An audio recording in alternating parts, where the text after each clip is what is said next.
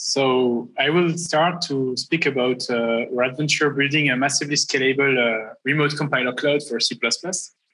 And that means uh, building a massively scalable web app in C++ for C++ to compile C++. So yeah, it's a C++ conference, so I think we're in the right place to speak about that. Um, it's um, uh, at tipi actually what you are building is uh, is is a new way to feel C++. It's a it's a way to rethink the C++ experience. We want to enable developers to build faster and in a simpler manner, so that they don't need to build or write build, scripts themselves, and that they can uh, simply write code on the add value to their software instead of maintaining package management script and stuff like that. With my co-founder Yannick, we have been the CMake guys of many companies in the past, uh, mainly automotive and IoT. Uh, Yannick is also really skilled in um, electronics, and he did um, quite a lot in terms of business creation and so. I'm like uh, the C++ fanboy on the team. Uh, so uh, we, I did everything. So we joined the ISO CPP Foundation. we are members since the summer, and uh, we hope to uh, in the future be able to to contribute back to this marvelous standard uh, and bring the C++ experience to another level actually. Um, what I will talk in, I will present in this uh, this talk is uh, why C++ for web apps. Many people uh, might argue against it. it has been a, a fight for me since I made my master thesis and so on um, uh, how we build tipi build, uh, how the software architecture is made, and uh, what we use in there. There are a lot of keywords. Uh, I will go over them and explain them. I'm not a gatekeeper, or I try not to be. tipi is about making things simple, so let's go deep into it.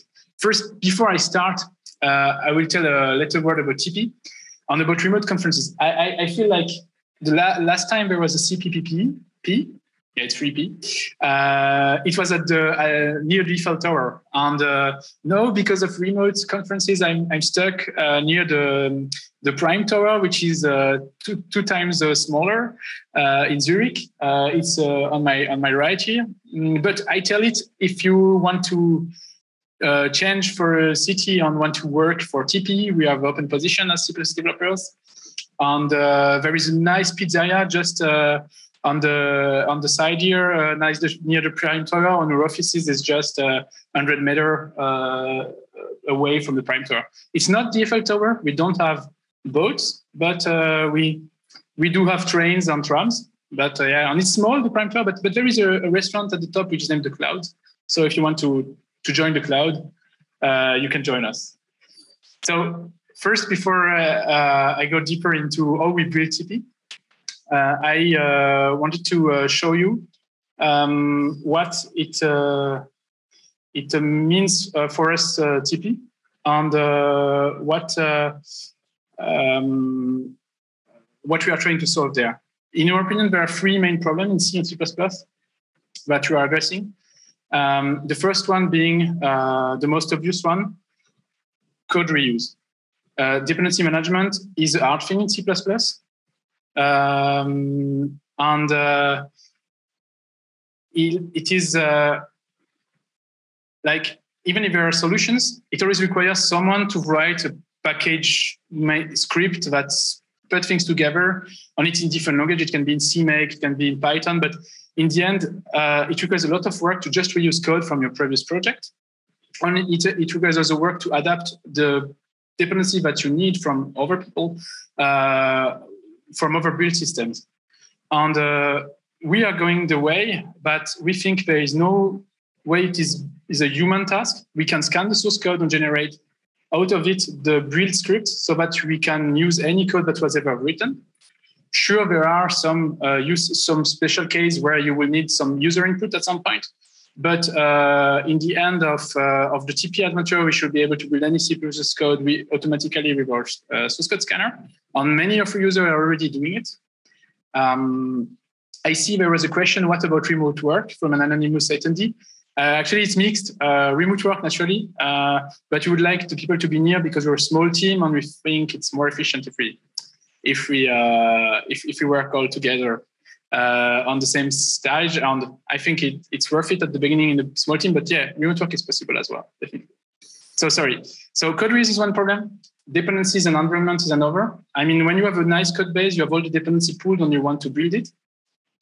Uh, you have all the libraries, but you're still missing the compiler, the linker, the debugger, and uh, everything you need to run. For example, if you have a special GPU or things like this, that you want to run. And this is what tipi is also bringing. We are specifying uh, the environment in uh, declarative files, which goes beyond what Docker can do because we go for Windows, Linux, and so on.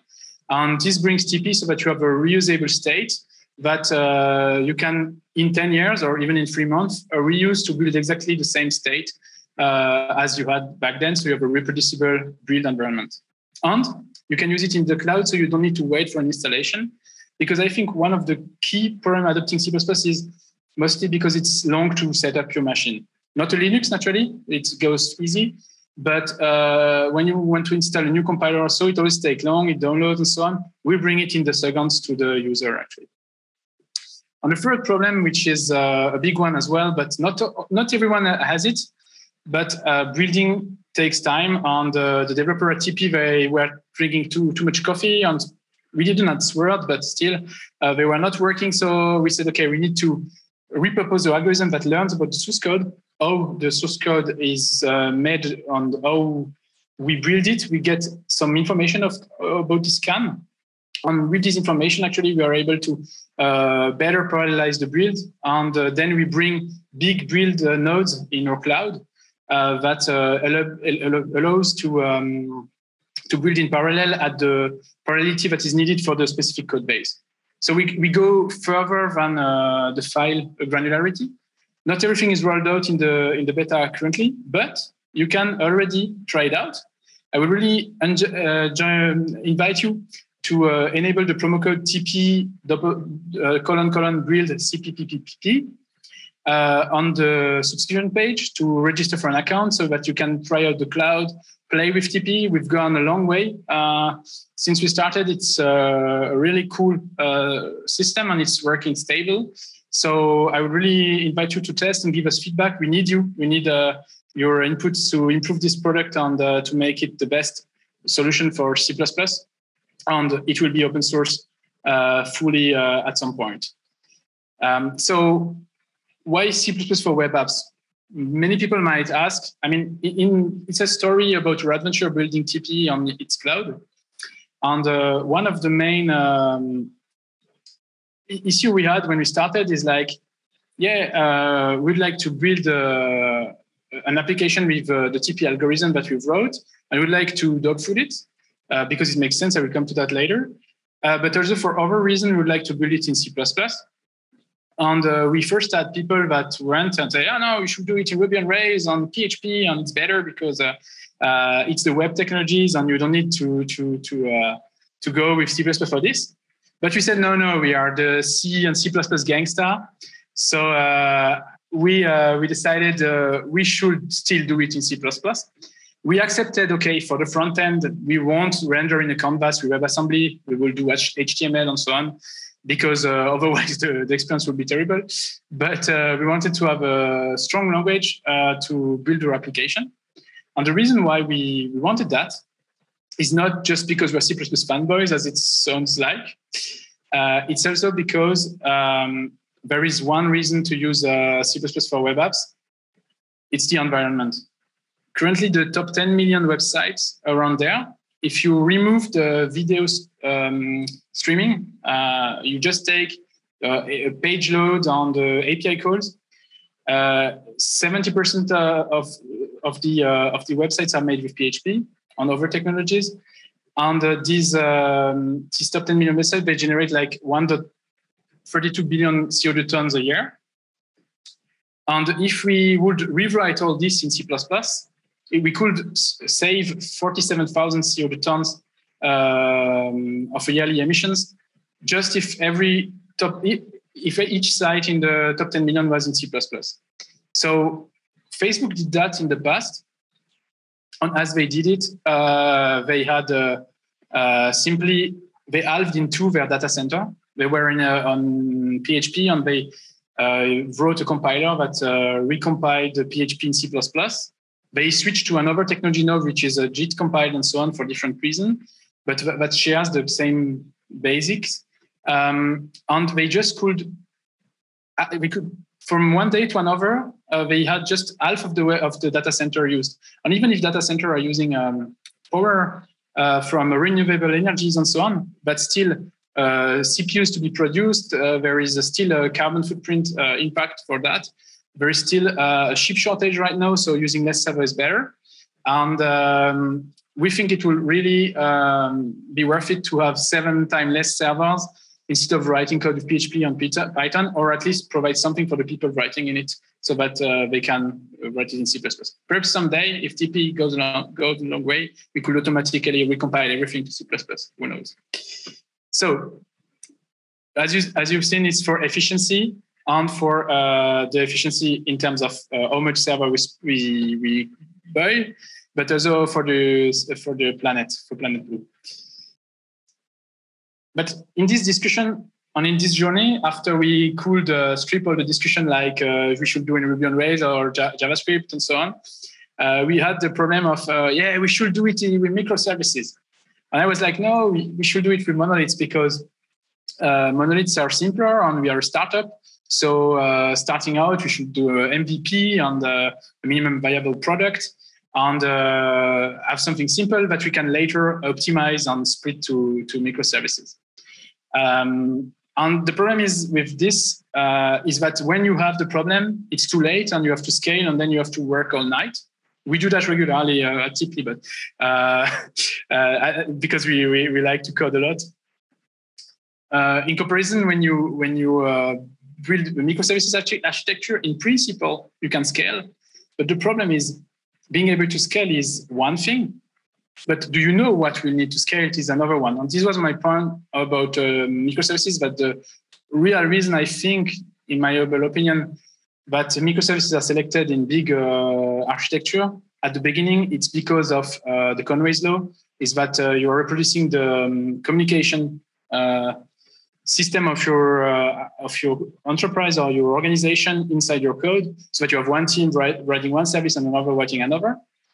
It's a good or bad thing i don't know because uh, with that you can go to speed and release things. But i think for an end user perspective it tends to bring um, the developers to think of the product as two separate things like all the microservices while actually a product is the complete set of things the services all the services on the client. And i wanted that we get in this context that at tipi, we see the full product as being the client, the cloud on each part of the cloud, so that every developer could modify it and act on it, and that is get responsibility for the full chain actually.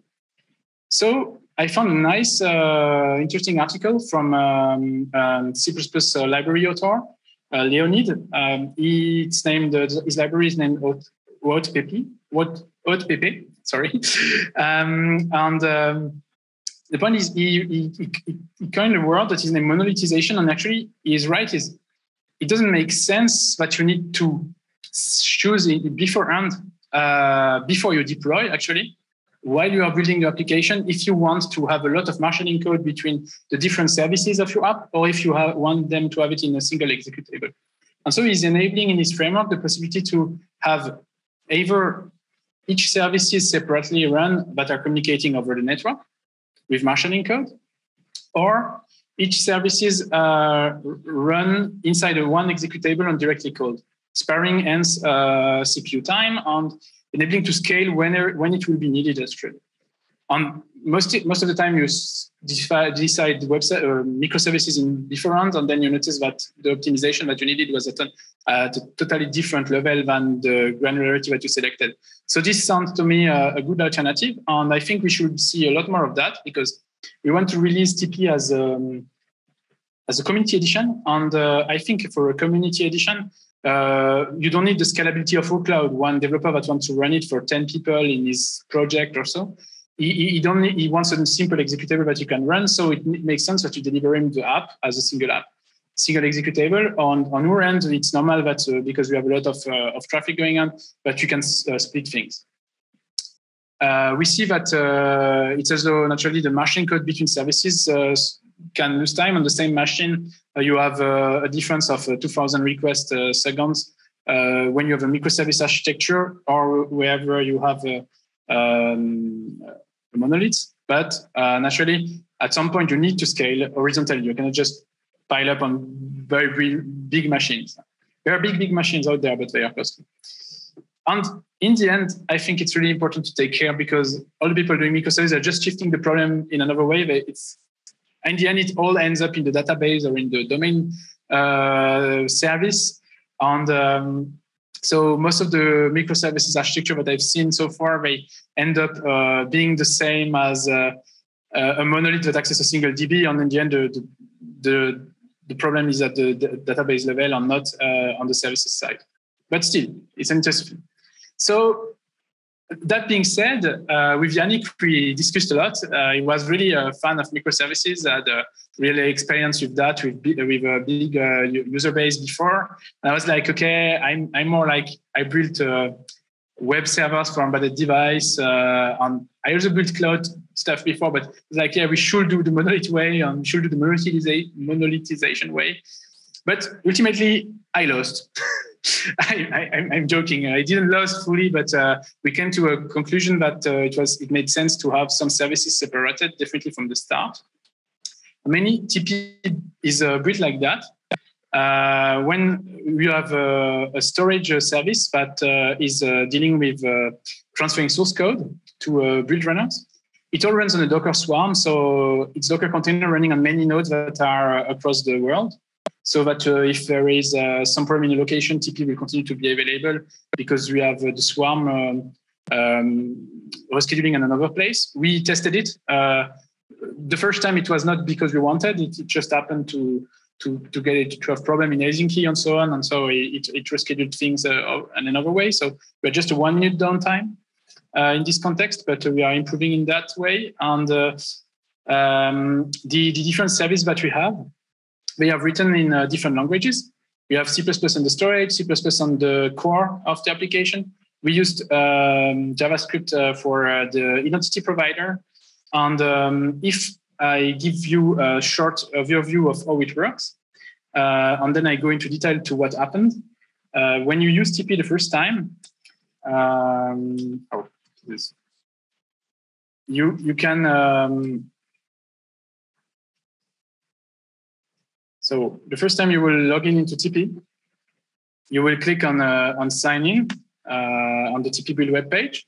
And here what will happen is that uh, we will request uh, your uh, username and uh, mail from github.com. And if the user authorizes it, the tipi API accounts resaves it. And then a JSON Web Token is generated. And we ask you to generate a tipi Vault on the first onboarding steps that will connect to further details uh, in your um, application uh, to, to your uh, source code hosting. Uh, it can be GitHub, it can be other sources. Uh, and the thing is, is this is written in WebAssembly. When I click open the vault, what happens is that the WebAssembly software unpacks uh, um, an encrypted vault where all my passwords are stored. Here I already created the GitHub link. Uh, so I, my Vault has access to all my GitHub repositories, but the Vault is only accessible by this browser, not by tipi Cloud.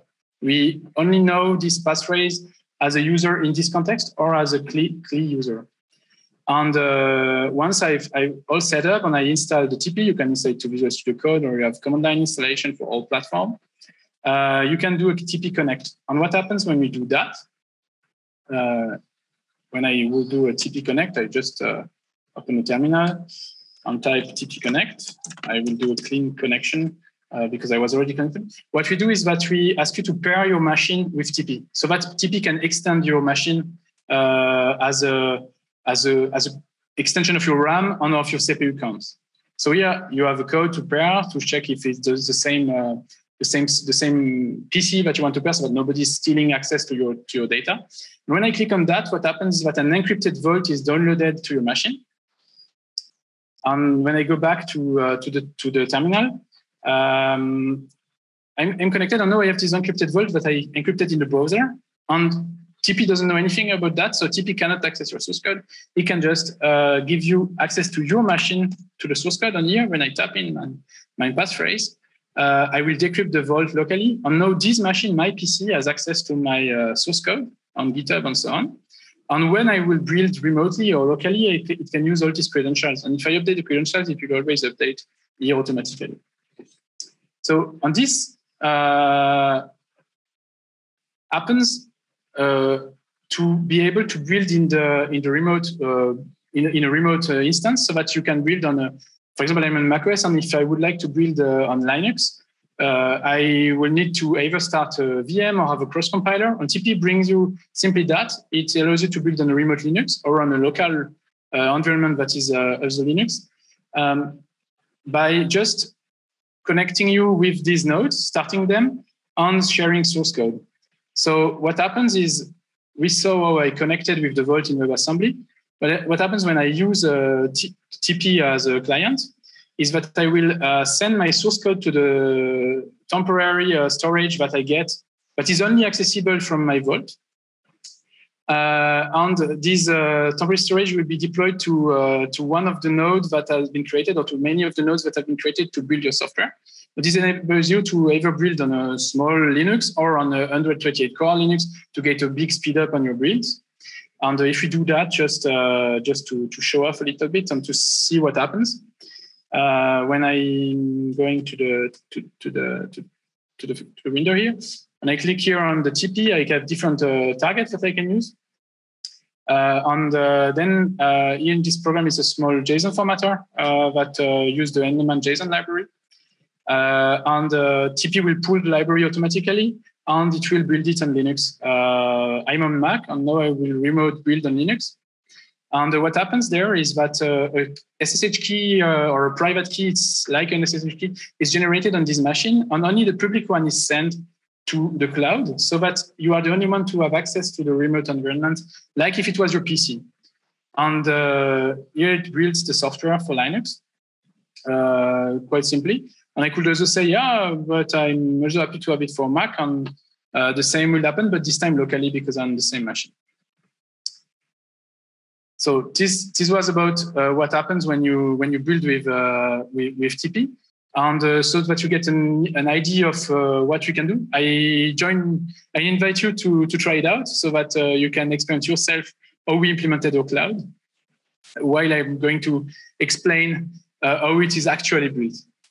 So here we have seen the architecture, and uh, we were like, yeah, it would be cool to have this and that, and in C++ for web services, and we should re- we should reinvent the wheel all the time. We should do all the frameworks that is missing. It's so cool to to build C++ code. But then we noticed, yeah, but actually tipi is a dependency manager as well, so it would be stupid to reinvent all the wheel.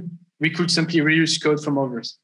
So if you want to make a website like we did uh, with uh, our web service, like we did uh, for tipi Build, that can scale, we, you can simply say uh, into tipi uh, in a .tp depth file, you can add uh, the GitHub handle of the library you want to use.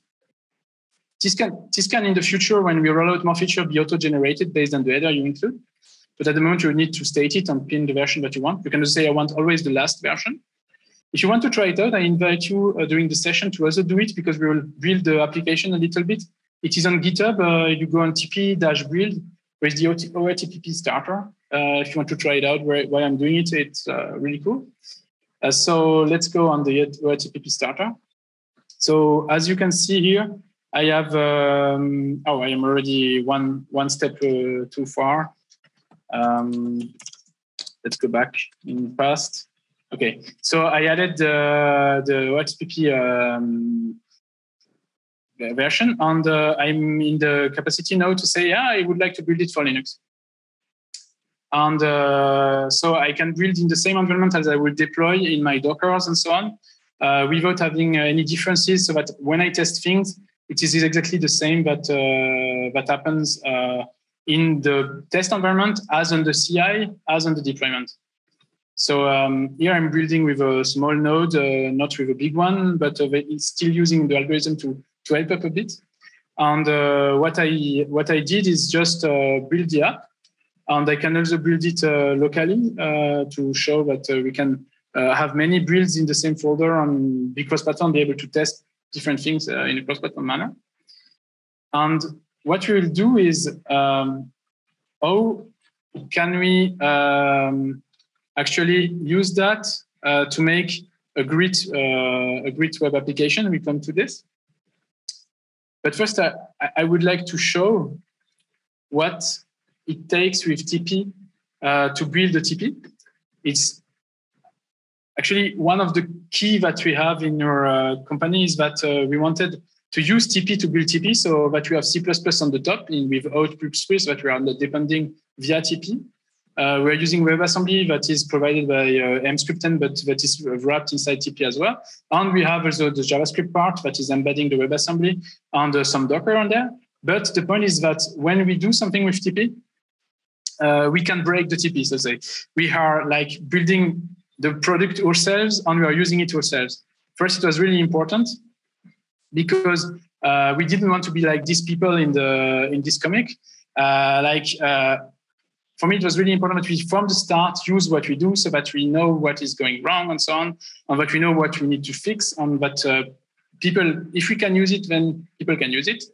And uh, we are building LLVM and stuff with it. We are uh, building um, the full web service with it. We are deploying with it. We are doing a lot of stuff with tipi. So I can tell you, we are dog fooding it, but we need you to get your use cases because we have C++ is many island.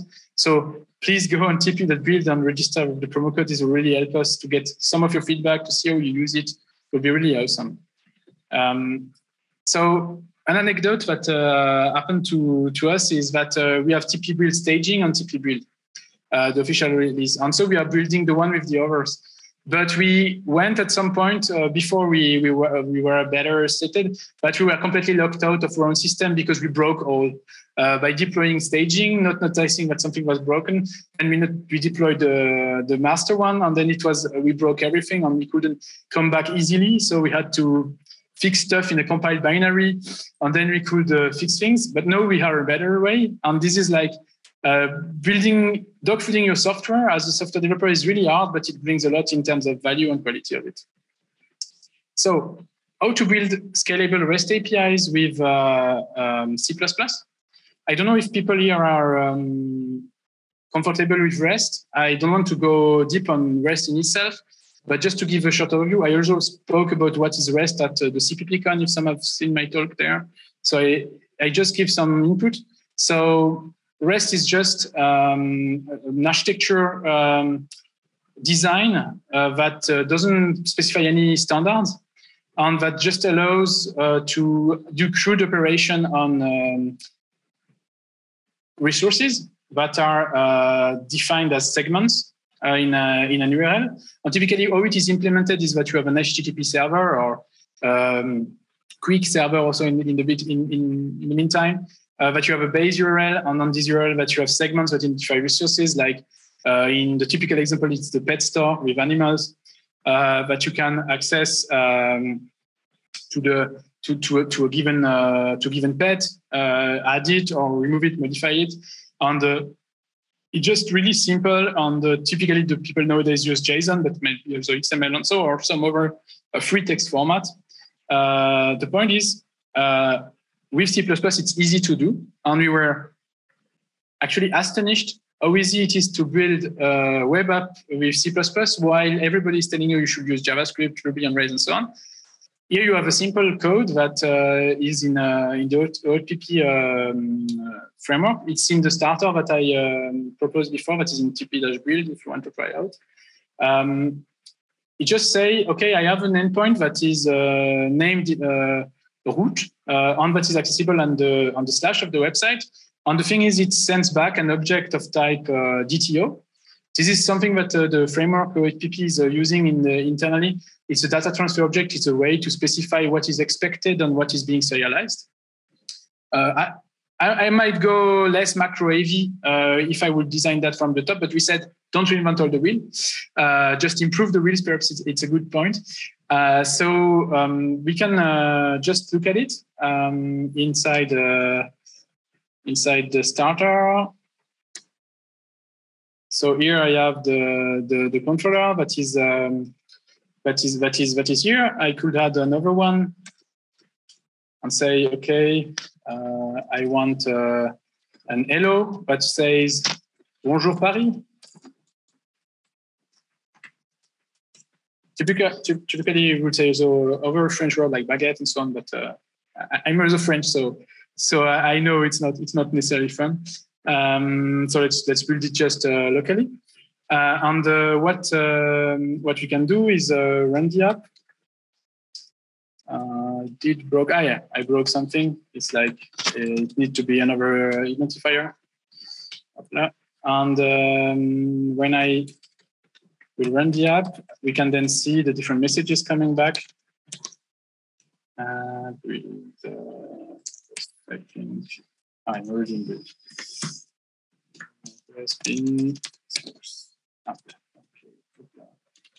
so here I have a server that started on port 8000 normally. And if I go to my browser on the I try out, ah, now it's allowing me to localhost 8000. I get this hello world. Uh, raw data is like this. And if I go to hello, I could have uh, Bonjour Paris in principle. So yes. So all built out of the box with, sorry uh, all built out of the out of the box with uh, with tipi and with HTTP, uh, just with one line in the dependency file. So this is the basic to start. And there you can already have a lot of requests being served by seconds. So without needing to scale or to do anything complex, it's just uh, very very well done on the, the, the, you can really serve a lot of customers before or users before being able having problems uh, dealing uh, with uh, with scalability issues so open api on rest the point is rest is a bit like uh, freeform and anarchic architecture as we saw uh, and it's not specifying any standards so it would be good to have open api on the um, on the server so that you can specify what is the API of your server so that the server can uh, actually be uh, used by clients that automatically generate the clients. I, in the CppCon talk, I saw how to write clients. Here I'm, I'm presenting how um, to write servers. And happily, the people at OATPP, they, they did a great work as well. Is that uh, they added uh, endpoint uh, info as, a, as an addition to, the, to, to their uh, set of macros that generate just plain C++ types. It's nothing evil going in there. Uh, where you can specify what happens. And there we were really uh, surprised because we did the same for JavaScript for the for the part that is doing uh, the account uh, access to GitHub and so on. And there it was like just like terrible. We had to reinvent everything because it seems that people uh, tend to be less uh, using OpenAPI in JavaScript than or to, to do it in a way, in, in their way. Uh, it was really complex to add this to an Express API, while adding it to C++ was super easy and didn't take took that much time. And so if we do that uh, in our code base on the starter, uh, I can show you, you this, and uh, I will just, I won't type it myself. I will remove my changes and ask Git to, type, to type it for me. Um, check out to Open API. Yes. So here you have the endpoint information that were added. I uh, commented out the security requirement for the moment. We'll come to JWT later on. And uh, here the dependency just changed that uh, we depends on Swagger, that depends on OATPP. Uh, and uh, this allows us to uh, now generate a web page with, uh, which, which can auto generate a, a, web client, but you can also use then technology that I showed in my separate talk uh, to generate your own client. We are even building something that is named Open OpenAPI PP, which is a C++20 template metaprogram to generate uh, clients for OpenAPI. So uh, we are welcoming your help there because I think there is a need for, for some work on the client side. Uh, so if I build that again, then what I will get typically is um, is a, a web page where the, where the Swagger is there. And if uh, just uh, take it. Um, so yeah. So it's running again, and then when I go now on uh, Swagger, you when I go on localhost, there is an additional endpoint thanks to uh, to to this, and we can see the the root endpoint that greets the world.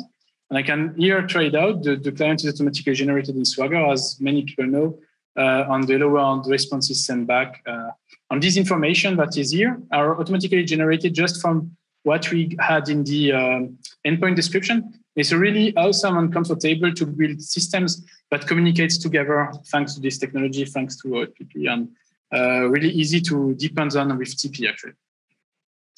So, so if you want to learn more, there is this talk or adventure with REST API in C++, making it easy. It's from the client side. Uh, here we are speaking server side. So server side, how do you scale uh, uh, an architecture, a cloud architecture, uh, and deal with security at the same time? There is a true issue uh, with security is that you have to, to trust things and to check things.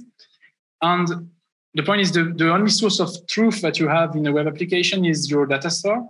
And if you have um, information that comes from, uh, you have a request from a client on it, when you are on one of the 10 instance of the service, on each of the instances of the service is going to ask the database, is this user a real user? Is this user authorized to do this and that? Then you are just offsetting actually the, the, the, the, scalability problem to the database that you need to scale as well because it is always uh, asked uh, regularly. There are super database uh, uh, that were developed in love in Paris. Uh, I'm thinking to Edouard Alligand uh, that, that that could deal with that. Um, but um, I mean, it's better to not abuse of it. So we use JSON Web Token at tipi. On the JSON Web Token, it's sent as a HTTP uh, uh, authorization header. I can show you on the website how it happens. Um, when I go to, uh, when I finish my, my tour here, and I go to manage my subscription, actually, I could, and you should do it. Uh, don't forget to do it. Uh, uh, I could act, I could enable my my um, my cloud subscription, so so that you can try it out. Um, oh, let just show the console. So here I'm applying the coupon to um, to get uh, build Nose for free uh, for uh, because I'm a CPPP uh, attendee like you, and uh, so uh, you get then a medium build job. And here was done the, the request, and in the request header actually there is this bearer token being sent.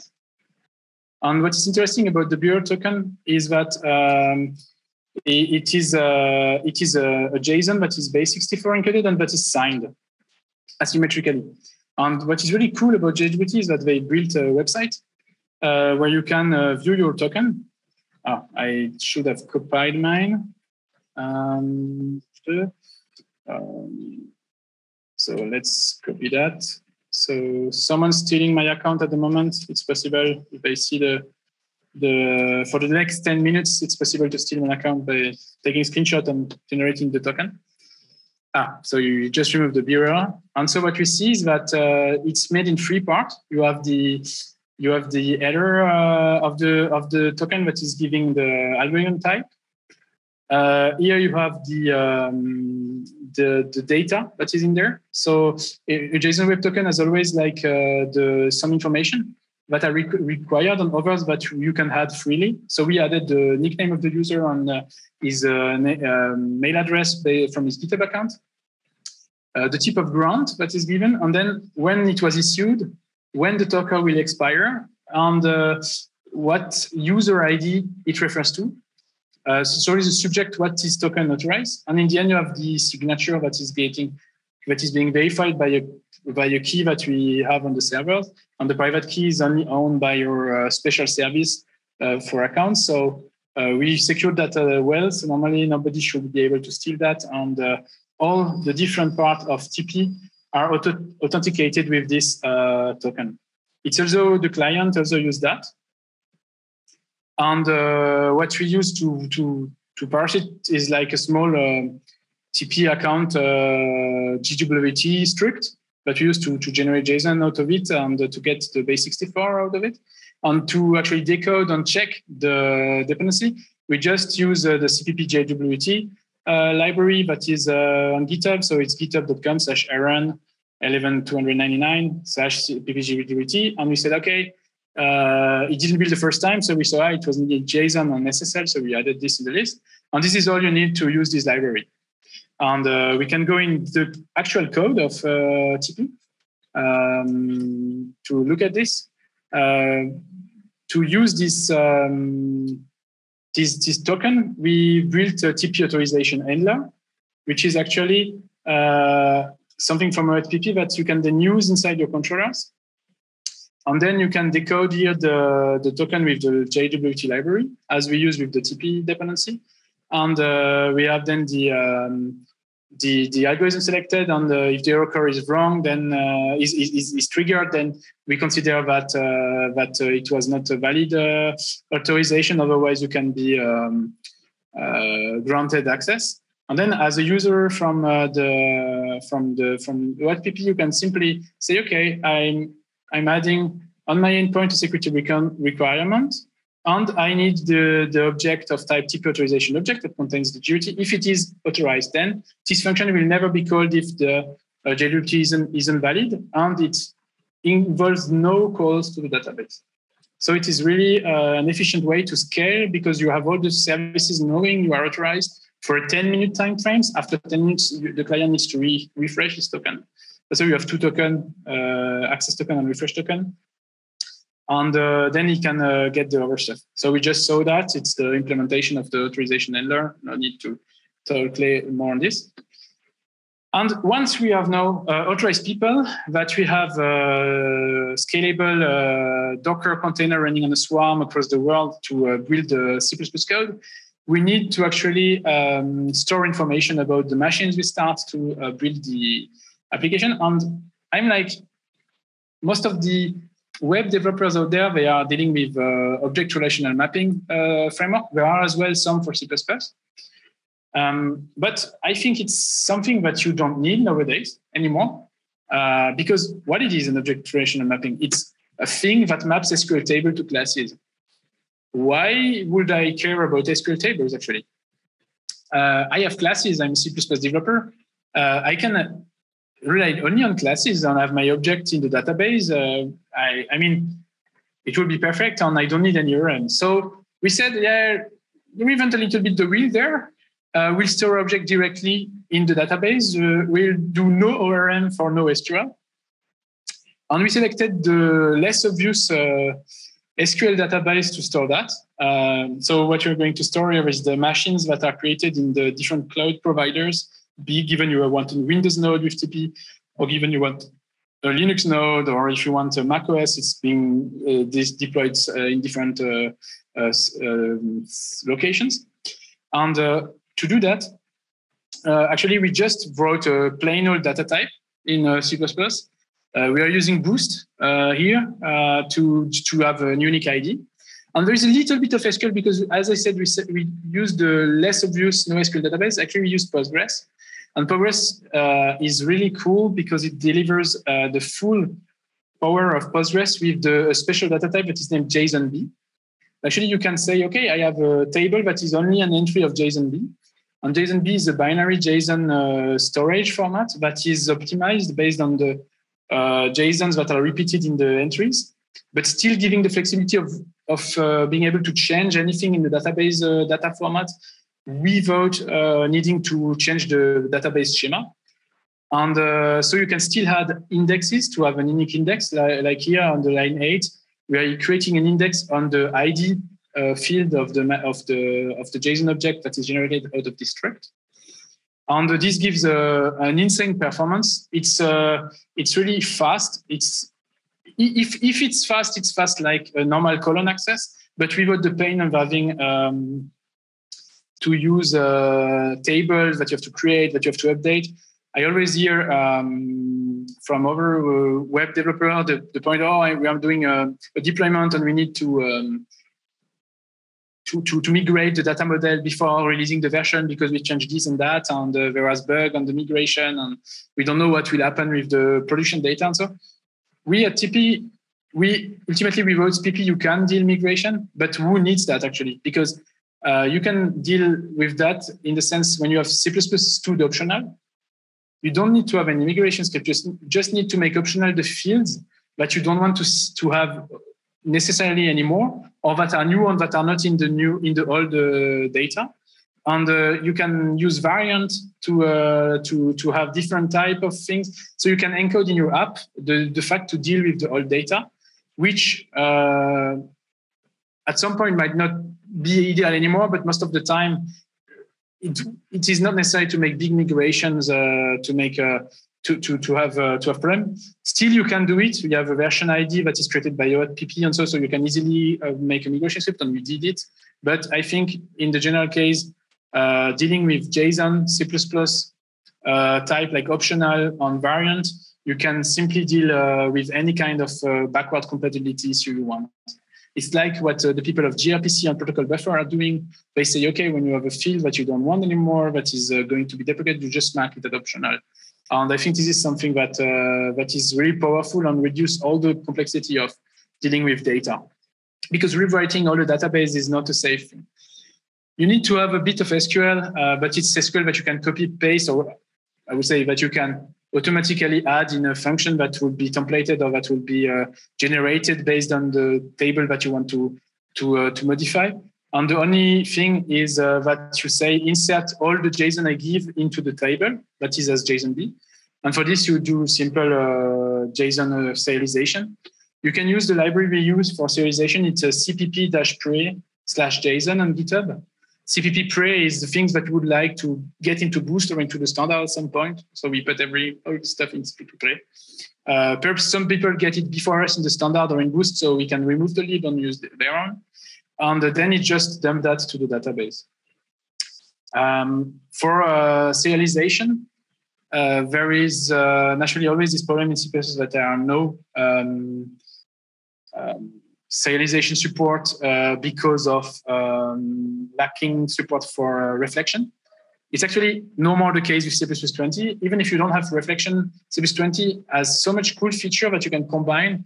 But as I showed in my talk at uh, CppCon, you can make uh, like if you had reflection because you can combine non-type template arguments uh, as const expr, um, compile type argument deduction and um, abusing um, the deduction of uh, the deduction of uh, tuples. Um, to say that? Um, uh, that you that you split a tuple in in uh, in multiple um, in multiple variables. Uh, this uh, allows you to iterate over a struct.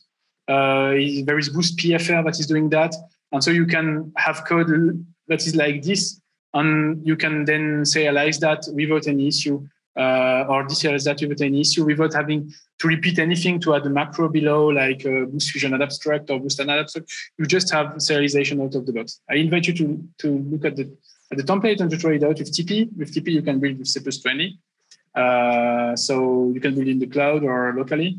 So if I go on on uh, on this project, I could uh, simply say, uh, yeah, I, I would like to build this uh, starter with Swagger on um, tipi Linux, uh, build.t Linux uh, 20, and I would like 128 cores for it so that the build goes fast.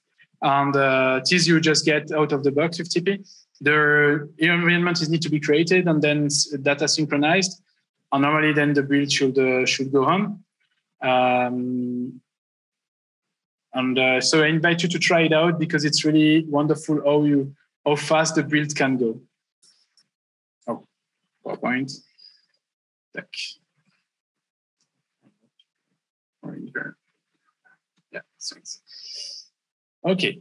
And uh, so, as a conclusion, I would say uh, MongoDB is a nice NoSQL database that many people use, but Postgres has actually MongoDB inside uh, with this JSONB, and the performance is incredible. And uh, the simplicity, as we have seen, is uh, is uh, just what we like because you are dealing with data. You don't want two things in the way of your user data. And I said, who needs migration when you have a special data types that uh, encode the meaning of uh, what you're doing. I mean, this is the strength of C++. You can encode things uh, that you cannot in language that are more loosely typed. Um, so tipi, at the end, for the moment, we, we spoke how we built all the web applications, so, but we didn't speak how we deploy the machine on the many, many cloud machine on different cloud vendors. So what we do at tipi is that we rely on the, on the tipi client to send us uh, two files that are the description of the environments. when you go on a tipi uh, installation, uh, you have in your um, in your home folder .tipi slash uh, environments, and then you have all the environment that tipi supports. So that's really a lot. And for each of the environments that we support officially, there is a Packer file, which is a description of how the, the, the, the, system is supposed to be built. It can be a Docker that is built. It can be a Windows machine uh, that is not a Docker or a macOS machine. Uh, and the toolchain file, which is a CMake, because tipi removes you the pain of writing CMake yourself, but it doesn't avoid you of using the good things of CMake, like all the toolchain that are specified so that you can reuse environments that are built for CMake and so on. on under the hood, tipi generates CMake list for you. And uh, it is allow in the end when the, the typically sends the request to build, it sends the uh, data for the for the environment plus the hash. If the hash was already uh, deployed in the cloud and a snapshot of the machine was already made, then you get this snapshot with your special SSH key um, added to the machine so that the machine can be used for your builds. And otherwise, it will be created with Packer and then uh, terraformed, uh, and then a lot of uh, of our API is going to be used to um, actually check if the machine is started and running. We have a Boost.Asio checker for uh, for checking if the, the node is ready, so that you get fast information. And uh, we registered a, domain name for it. So you have also a node where you can run a web service for your debug tests, so that you want to try out uh, something and you want to connect to some other uh, web service, you can be outside of your network thanks to tipi uh, on being on the internet to try things, but you don't need to. By default, it's closed. You can open it if you want. And um, it is also then to, to, to build at a scalable way because once we build the environment, it's quite a lot happening there uh, because we control the different cloud and we connect to different machine and we make different uh, setup of, of uh, action on them and we transfer some big files and so on. But uh, once we did that and your machine is ready for you to build, we get out of the way. And it's that we scale infinitely because we give you access to your set of machines directly uh, that you can build on it so that we don't uh, interfere anymore and that you can just build as you want. Uh, this is where we get the, the high scalability. The only limiting factor is uh, the storage uh, server that is really performant as we built it. We are still improving that continuously, and we would like to have your feedback on it. Um, so we are we we there we transfer the source code temporarily temporarily on the on the storage. The storage then synchronize that to the machine, and uh, it uses as a as a pipe to synchronize in both way. Uh, the the binary can come back on your local machine if you want, and the source the source changes goes up to the cloud. Uh, until you stop the live session, when you stop using tipi uh, on the day and so, then the, the data are, are deleted uh, so that you don't have data that gets stolen also. And uh, anyway, these data are encrypted on all the node where your data were stored are completely destroyed after the after the build is finished and you don't use it use them anymore. So there is little chance for things to be stored in the cloud. Any case, tipi can also be used on premise. So if you have special requirements, it's possible. So one big problem we have uh, encountered by building tipi is uh, that we got real zombies in our uh, in our application. So we are super happy doing high performance C++ at cloud scale. Uh, and um, you know, in C++, one thing that is lacking out of the box that many interpreted language have is having a, stack trace. And uh, the point is, the advantage that C++ has core dumps that other languages mostly don't have, like uh, Java and Python. They have core dumps, but not really out of the box and easy to use. So uh, we have core dumps, and it's a full debug uh, information but we don't get like stack trace information just in the logs to, to fast check something and say, oh yeah, it is this bug, I can fix it and so on. So is people that uh, help with that, but but in our case, it generated true zombies in our code. So if you want to learn, please register. If someone register in the meantime, uh, I will tell you the story. Otherwise, uh, I will keep it for me. No, okay. Ah, someone registered. Okay. So you can see before I tell you on tipi that you are not alone uh, building applications. Uh, when you go, I have an admin dashboard on my other screen, but when you go on the web page, you can see that we are not uh, uh, we are not a single user there. Uh, we have uh, live 160 live build cores running at the moment, and uh, we have a 10k uh, build score ever deployed. And in the last two weeks, there are 4,000 cores deployed. Um, it will be awesome if we can get to 16k. If you can make the cloud burn a bit, uh, not like in Strasbourg. Huh? Don't don't make it burn like in Strasbourg, but uh, at OVH. But uh, uh, make it make it make it run. Uh, if you have 16k, we open champagne, uh, good champagne, and we invite the user that make them burn. Um, so, and you can take my word my words for it. so the zombies in tipi. It's we use the Boost stack trace, which is a super nice library, and it's awesome that we enabled on, on signals uh, handlers. Um, we didn't use a Boost.Asio signal set if you are uh, accustomed to it because you need to be in the actual signal handler uh, for the crash to get the full stack trace because if you are in Azure, you are no more uh, in the same stack, so you don't get the information. Uh, and so in case of 6 on SIGABRT, then you, you have the stack trace being generated. And in principle, the idea is that you don't need to be async signal safe, like uh, uh, the Unix uh, book from Mr. Butenhof uh, explain because you are crashing. So it should be the last action that you do. But actually, what we did is someone uh, tried to build a 128 core with macOS, and we had like a map which had no entry for uh, the macOS 128 core cloud um, um, provider at that point in time. And then what happened is that this handler crashed, and started to generate stack trace. But other user could continue to run, but we were getting a gazillion of mail of errors and of notification that our cloud was doing bad. And this was this took like hours to actually crash and restart the container. It's because we had integrated um, in the sense of MVP, the stack trace temper, with the address to line. You can configure Boost stack trace to not use address to line, so you don't get this problem. But there you had like stack trace being generated of uh, six seven in repetition without the application quitting and with the application continuing to work.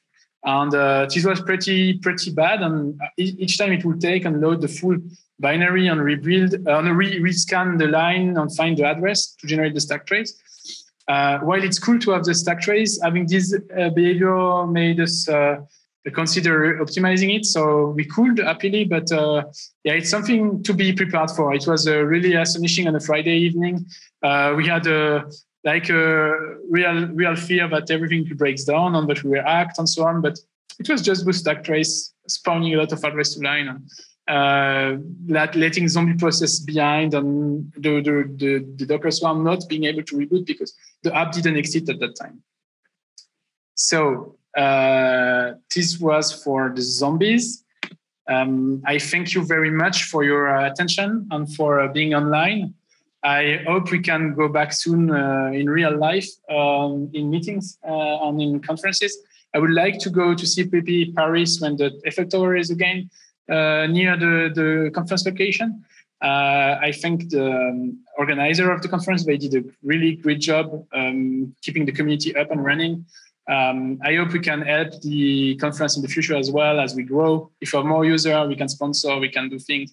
We need you. Please register on tipi Build, try it out, give us feedback. We love brutal feedback. We want to fix all problems that you have.